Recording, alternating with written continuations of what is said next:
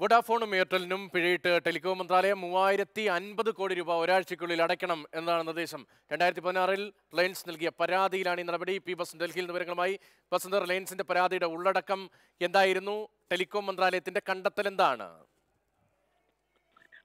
രതീഷ് രണ്ടായിരത്തി പതിനാറിൽ ഇട്ട പിഴയാണ്. രണ്ടായിരത്തി പത്തൊമ്പതിൽ ഇത് ടെലികോം മന്ത്രാലയം അംഗീകരിച്ചിട്ടുണ്ട്.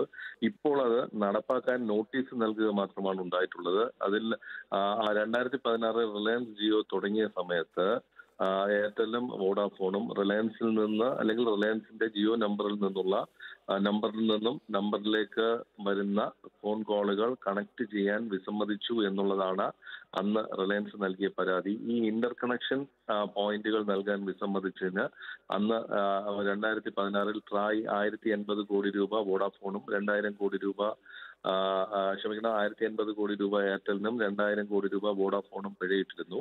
അത് രണ്ടായിരത്തി പത്തൊമ്പതിൽ ടെലികോം മന്ത്രാലയം അംഗീകരിക്കുകയും ചെയ്താണ് ഇപ്പോൾ അത് നടപ്പാക്കാൻ നോട്ടീസ് നൽകിയിരിക്കുന്നു. അത്രേ ശരി പി ബസന്താണ് ഈ വിവരങ്ങൾ ഡൽഹിയിൽ നൽകിയത്.